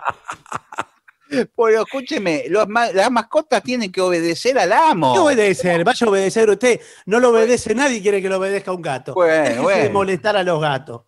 Sí, señor. Usted, señor, es un cachirulo. Claro, sí. Un machirulo, querrá decir. Ah, perdón. ¿No era cachirulo? No, machirulo. ¿Y Además, cachirulo cuando- qué vendría a ser? un cachista. Bueno, Cuando eh, usted, discúlpeme, cuando usted eh, se ganó el aprecio del gato, Sí, olvídese, dándole porque comer, dejándole hacer lo que él quiere. no, Claro. usted le- eh, los dedos que tenga, Sí. ¿los qué? los dedos que usted tenga, si son Los dedos. los dedos, sea la cantidad que sea. Diez tengo. ¿Cuánto voy a Bueno, está bien, señor, 10 dedos, bueno, 10 dedos, pero puede usar menos si quiere. Claro. Eh, lo va, eh, se los va pasando como eh, a una guitarra cuando va por todos los acordes Sí. Sí. y se lo pasa por atrás de la oreja al gato y repite la operación varias veces. No tema, no tema. ¿Y Ahí qué queda, gano con eso? queda registrado en el amor al gato, el gato le marca con eso, Sí, Con si el los dedos, gato, ya re- le reconoce los dedos. le reconoce todo y hay una memoria glandular que... Ah, sí, yo tengo mucha memoria glandular, ¿eh? Sí. Enseguida me acuerdo.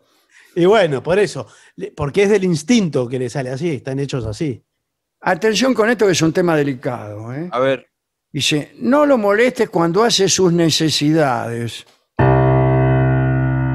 sí. porque veces- puede que lo traumes, Sí. claro, y lo deja ahí, y deje de usar la bandeja. Sí. ¿Qué bandeja? La no me bandeja digas de que lo pie- hace en una bandeja. La bandeja sanitaria, señor. Donde tiene Ah. las piedritas, las piedritas sanitarias. Yo creí que era una cosa con arena. Parecido, hay algunas sí, son piedras de cal, básicamente. Ahora, escúcheme, hay un tema. Sí. A ve- much- muchas veces el gato que yo tengo, tengo una gatita acá en mi casa. La gatita está haciendo las necesidades en la, en la bandeja y muchas ¿qué veces me, me mira. ¿Qué hace? muchas veces me mira, me mira fijo a mí mientras Ah, Porque le tiene miedo, porque está alerta, Claro. porque usted Yo- la habrá maltratado. y yo no sé si mirarla directamente o mirar para otro lado. No, mire para otro lado. Pero sí. sí, usted Y no tiene la acaricie cuando, cuando está haciendo tampoco, ni la llame. no. No, porque no hay peor cosa que quedar a mitad de camino de un trance sanitario. No, dígamelo a mí. Eh, bueno, Después sí, dice, no le tires de la cola, No. No. ni le pises la cola. Le pisó la cola al gato, ese no se casa más. No le tires de la cola, con ella se comunican. Mirá vos, Sí. Sí, con la cola pican las avispas. Eh, guardan el equilibrio y es súper delicada. Ah, sí, Sí. sí, yo siempre, y te digo siempre una digo cosa. eso. Si usted empieza a acariciar a un gato y el gato levanta la cola para arriba, quiere decir que está todo bien. Ajá. Bueno, ¿En qué sentido? No, eh, sí, no sé. como, no, como que le gusta que lo está acariciando. No, como, Claro. como que le gusta, no sé si es como que le gusta. Sé yo, como que le gusta. Usted interpreta que todo, todo signo que le hacen quiere decir me gusta. No, Claro, pero digo, sí. si levanta la Todos los cola, colectivos lo dejan bien. Si levanta la cola, incluso el cuerpo a veces levantan, lo arquean para arriba. ¿Qué más Quiere decir- quiere? ¿Qué más quiere que levante? No, señor, digamos que los gatos tienen las terminales nerviosas. ¿Sabe dónde tienen las terminales nerviosas? No, no sé. En la cola, señor. Oh, En ¿en qué lugar, cola. eh? Y bueno, entonces eh, por eso eh, usted lo puede alterar. Lo mismo que los bigotes y las cejas. No, Sí. no se lo puede cortar porque pierde el equilibrio. Se cae, sí. Sí. No le rasques la barriga, bororón, borón, borón. Las patas o la cola. Mejor ve directo a la zona adelante. Ah, delante y detrás de las orejas. Sí, Como dijo usted, lo que dijo usted. ¿eh? sí. Sí. Y debajo del mentón. Le encantará. Sí, debajo del Ay, mentón. cómo me gusta que me acaricien debajo del mentón. Parece decir mi gato mientras me mira sugestivamente. No lo levante por la piel del cogote. Ay, pero yo he visto a muchos que lo levantan Sí, así a los gatos. Sí, porque es más práctico, ¿no? Así lo levanta la madre a la cría. Claro. Pero la madre porque no es una persona con dos manos que pesa 90 kilos. Debe ser por eso. Eh, no le suele gustar nada. Acá dice, no lo tomes en brazos sin haberte asegurado antes de que le gusta. Claro, lo primero que dije tenía sentido. Eh, Sí. Muchos gatos prefieren tener las cuatro patas en el suelo. Sí. Sí, claro. sí. Lo, lo levantan muchas personas también. Sí, bueno, claro, ya que las tiene, si las tiene, Bueno, Es que pónganse en el lugar del gato. Imaginen eh, un gigante que nos agarre a nosotros por el aire a 20 metros de altura. No nos va a gustar. Claro, no. no descarte nada. ¿A usted le gustaría que tal cosa? Esa es la, la audición de Rolón. Sí. ¿A usted le gustaría? No lo intentes tranquilizar si de repente aplana las orejas, empieza a bufar o a, gru- a gruñir y da latigazo con la cola, que se volvió loco. No, está, Ya. no le Eh, gusta. eh, es un gato alterado ese. sí. Sí, sí, está nervioso ahí, ¿eh? Bueno, dice, estamos seguros de que si respetas a tu gato y su manera de ver el mundo, él será el primero que se acerque a ti. Ya me tiene podrido este gato. Y hace Bueno, lo que él usted no quiere. tiene paciencia. A mí no me gusta, no. ya- me gustaban mucho los gatos. pero Pero escúcheme, después de leer este informe, no, no quiero un gato. no, no lo puede molestar cuando come, no lo puede molestar cuando va al baño, no lo puede No. molestar cuando duerme, no lo Por- puede... ¿y, a, y a quién puede molestar a usted? Usted quiere No, no, pero tener entonces a- aquella famosa molestar. frase, el gato, es- el gato es mío y lo molesto cuando quiero, No, no, no es, es es- es- es una falsedad entonces. Sí. No, señor, no es así. Además, el señor acaba de dejar eh, expresado que él quiere un ser para molestarlo. No es para molestar, Quiere de es, un, de un no, prójimo. no es un... Es un Esa ah, es la idea que tiene usted del amor, señor mío. Escúcheme, Señor. yo salgo todos los días a trabajar para comprarle la comida al gato y no, después no lo puedo molestar para nada. Yo Claro. escucho un ruido en la Distinto- casa. y nunca veo que el gato salga a trabajar para comprar comida para mí. No, no. ¿Eh? Llego a escuchar un, un ruido a la noche y no lo puedo despertar para que me ayude porque es- está descansando. Claro. ¿Para que lo ayude a qué? Y si A lo que sea, señor, a contarle sus penas. El perro distinto, el perro te mira y vos le contás las cosas y el perro te mira como diciendo, mira Sí. vos. Bueno, está bien, si usted quiere, eh, quiere un animal que se deje molestar por usted, como parece que usted- esa es la idea que usted tiene de un perro, Sí. bueno, tenga un perro y moléstelo todo lo que quiera, si se deja. No es molestar, pero el perro sabe que está. ¿Qué va a saber? El perro no sabe ni dónde está. Si no, no estaría en su casa un perro. perro- Y entonces, ¿a qué estamos jugando Si con yo los fuera animales? perro, ¿Qué venía de su casa. Acercándonos hoy. a los animales para contagiarnos El las perro está- pestes. El perro está agradecido. usted qué se cada- contagia, ¿qué hace con el gato que se contagia? el perro, cada vez que usted sale a trabajar, el perro mueve la cola diciendo va a buscar comida para mí. Claro, se da cuenta. Y, y ladra en señal de recibimiento. ¡Wow! ¿Qué quiere decir? Hola. Eso dice usted, no quiere decir hola. Yo, guau. por ejemplo, le arrojo un palo a un perro y Sí. el perro lo va a buscar Claro, y se lo trae. y me lo trae. Sí. Y bueno, está bien. a Ahora, usted bueno, le- que le gusta- no se gana gran cosa con, eso, es cierto. Pero muchos perros aprenden a traer el diario. Bueno, no se gana gran cosa con eso tampoco. No, tampoco. Bueno, mire, estamos muy atrasados. ¿eh? Bueno, mire, la Acá me que están haciendo la seña. Es una, el- vergüenza. Déjeme decir que ese, este informe es una vergüenza. Y ¿Por yo no estoy de acuerdo con los términos en los que se expresó todo el informe. ¿eh? No Bueno, bueno. Quiero dejarlo sentado, ¿eh? Pero quiero decir, yo lo que quiero ¿Dejarlo decir. sentado a quién?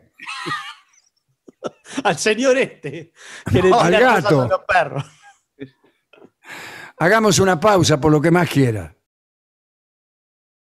Continuamos en La Venganza Será Terrible por las 7.50, momento musical del programa. Hoy viernes también es el momento de convocar al trío sin nombre, cuyos integrantes son Manuel Moreira, Martín Caco Dolina y licenciado pentacadémico Ale Dolina.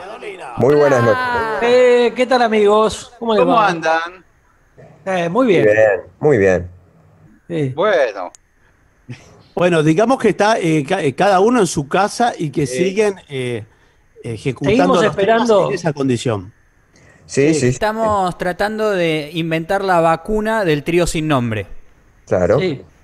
Porque nos dimos cuenta que hay un problema muy grande con las vacunas actuales, que es que tienen Sí. todos nombres que provocan escupir, como Sputnik o Pfizer.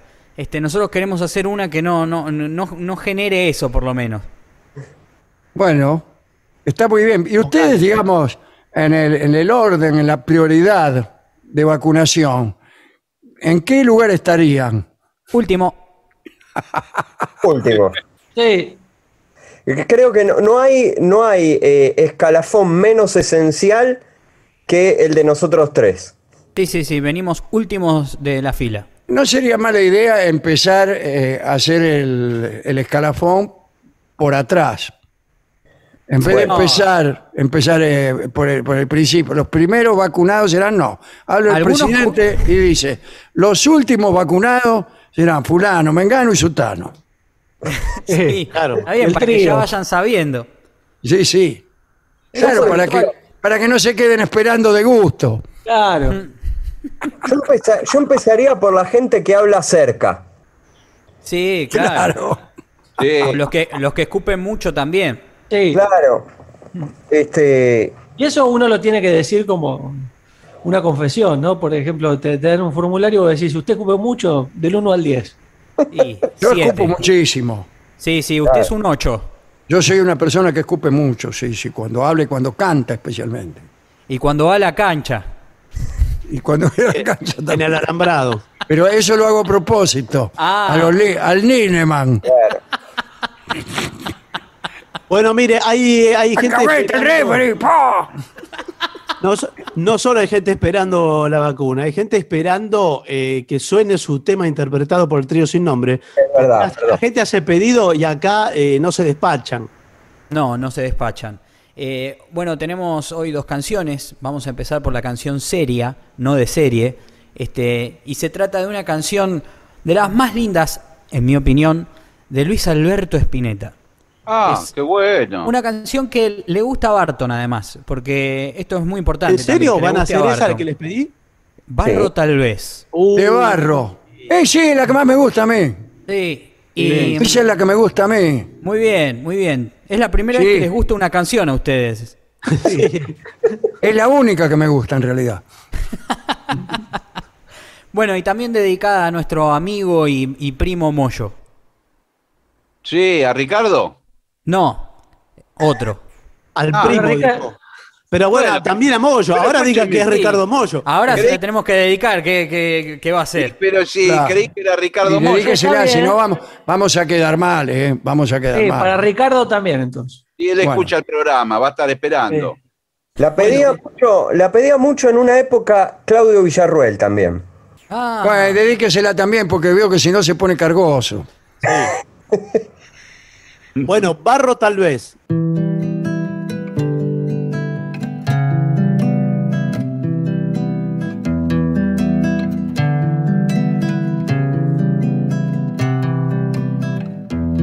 si no canto lo que siento, me voy a morir por dentro. Gritarle a los vientos hasta reventar, aunque solo quede tiempo en mi lugar. Si quiero me toco el alma, pues mi carne ya no es nada.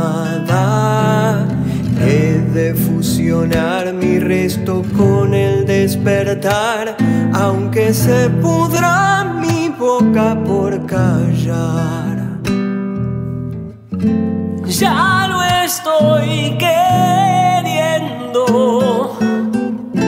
ya me estoy volviendo canción, barro tal vez. Y es que esta es mi corteza donde el hacha golpeará, donde el río secará para callar.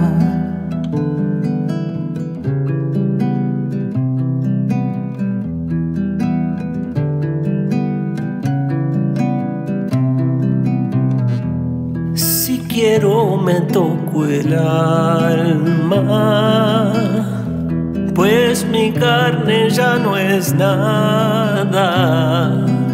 He de fusionar mi resto con el despertar, aunque se puda mi boca por callar. Ya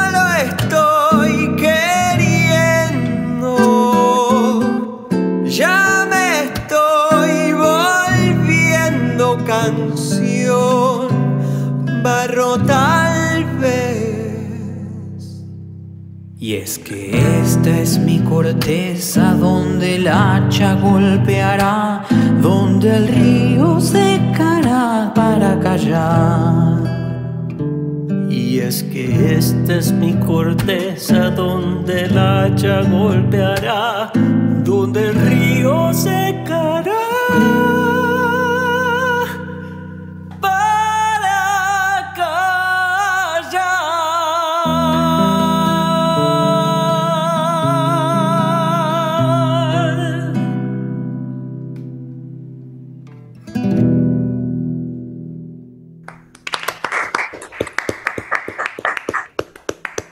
Muy linda versión, muchas Sí. gracias por habérmelo dedicado tan especialmente. Sí, muy especialmente. Se la dedicamos más o menos a la, a la- más gente dedicada que vacunada tenemos. Sí. Bueno, es el momento de la música de serie, por favor. Es el momento de la música de series. Tenemos muchos pedidos para esta canción porque usted sabe, Barton, que nosotros lo que hicimos es empezar con canciones muy, muy, muy pedidas. Así la gente se entusiasma y después hacemos cualquiera. Eh, Colapsó la el- página, me dijeron. Sí, eh, sí, pero ese es otro tema, señor. Sí, sí, claro. Lo digo para, para ver si podía cambiar de tema. Ah. bueno, eh, Barton, ¿usted oyó hablar de la serie The Office? ¿Usted o yo? Sí, Uno la estoy dos. mirando. ¿La está mirando? Sí. En este Ah, momento. ¿Y qué opina? Eh, bueno, que esa costumbre que usted tiene de venir así a las sesiones de terapia no puede continuar.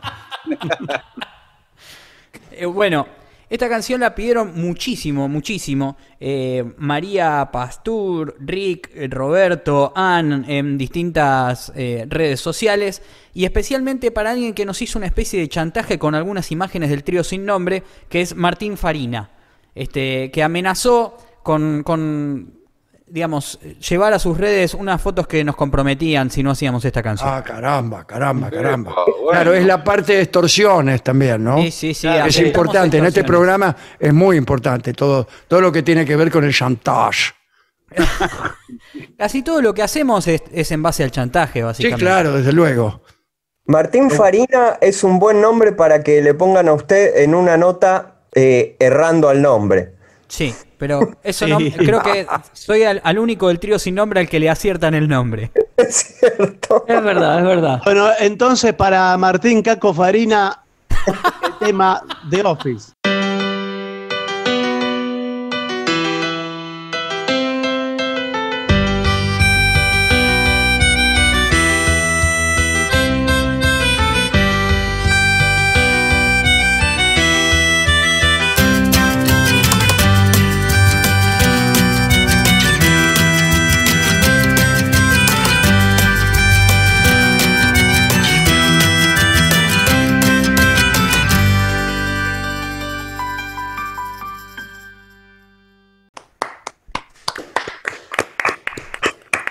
Muy bueno, señor. Ahí estuvo, es, es, bueno, acá hicimos una pequeña contravención porque nosotros veníamos pidiendo a la gente que nos pidiera canciones con letra de serie. Claro. Pero esta es instrumental. Pero ¿qué pasa?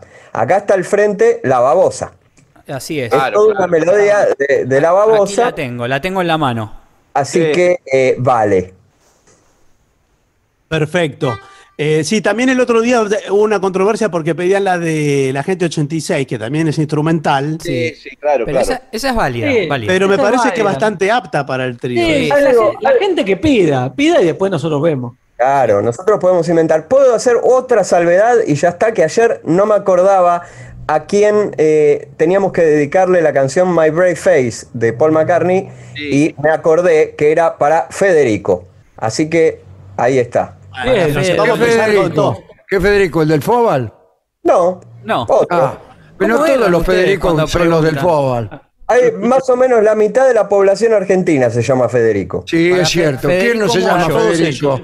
Ba- Basta parar la oreja por el balcón y se oyen voces de madres que gritan ¡Federico! No, a ningún Federico le dicen Federico, le dicen Fede. Le peor, le dicen Fede. ¡Fede, que te mato! Bueno, el que no se llama Fede es el sordo Gansé que está esperando ya al borde de la indignación. Así que lo hacemos pasar.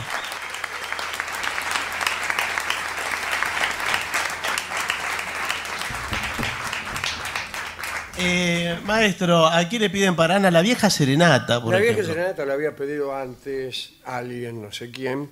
Vamos a Ana. ver, este sí lo, lo conocemos todos.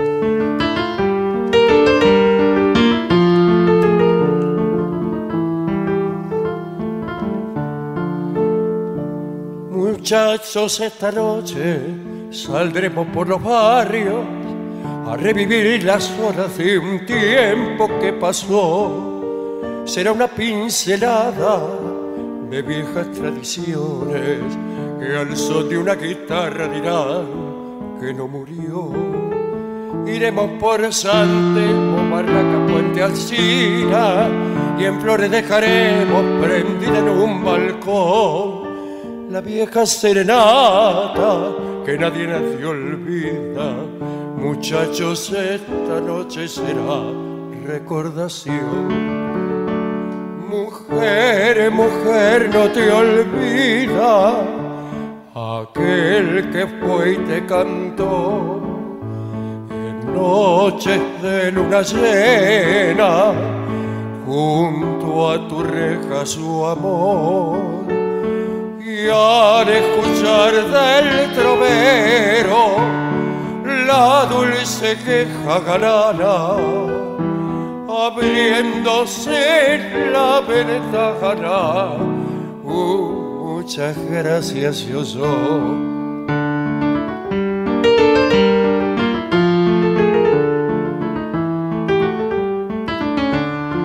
Por todas las parroquias florecen los balcones, la vieja serenata del mozo trovador. Y parece que hablara jazmines y balbones, como pidiendo acaso la vuelta del cantor. Por eso es que esta noche, muchachos, los invito, pondremos en los barrios un poco de emoción. Y al ver que las ventanas se abren despacito, muchachos, esta noche yo pierdo el corazón. Mujer, mujer, no te olvidas aquel que fue y te cantó en noches de luna llena junto a tu reja su amor y al escuchar del trovero la dulce queja ganara abriéndose la ventana. Uh, muchas gracias, se oyó.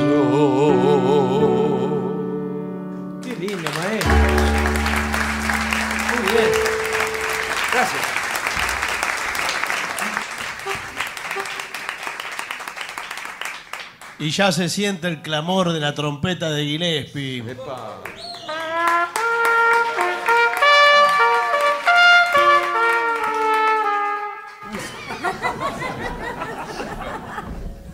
Insensatez habían pedido hace un bueno, par de días que no la habían. Por favor. Insensatez. Perfecto.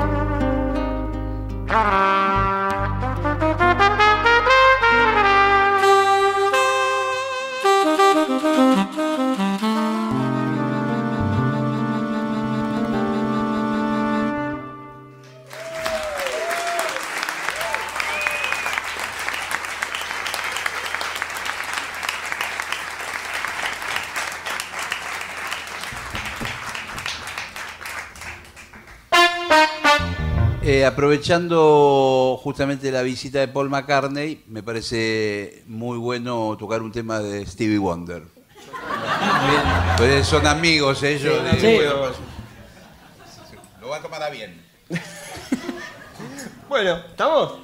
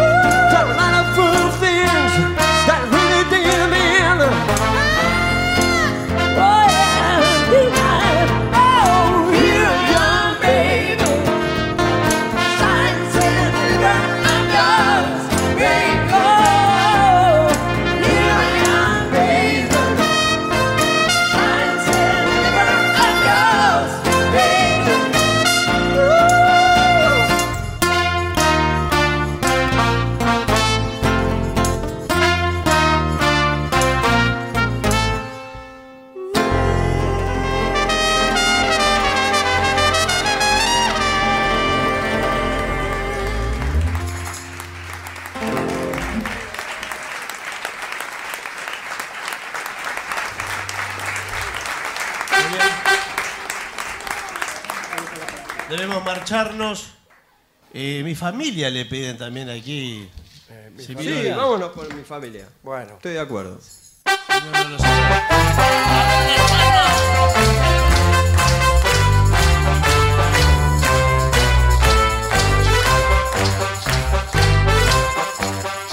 Mi familia, sí señores, somos músicos de honores.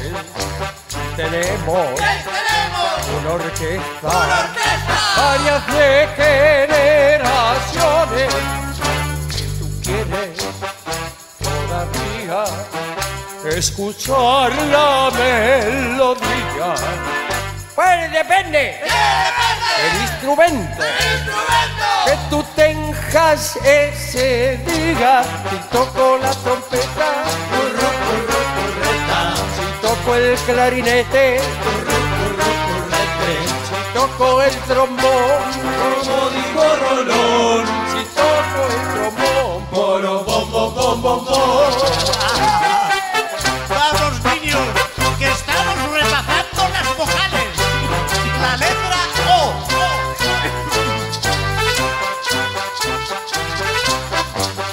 Mi abuelita, muy coqueta, toca siempre. Oye, que no recuerdo lo que tocaba eh, mi abuela. Este, Eh, con- cómo viene. Dímelo con disimulo para que los niños... Los niños están presentes. Los niños Pierdan no la entienden, no. Esta es la parte de las vocales que los niños deben estudiar en sus casas. Toca siempre la corneta y mi abuelo dedo. La de los dedos, hombre.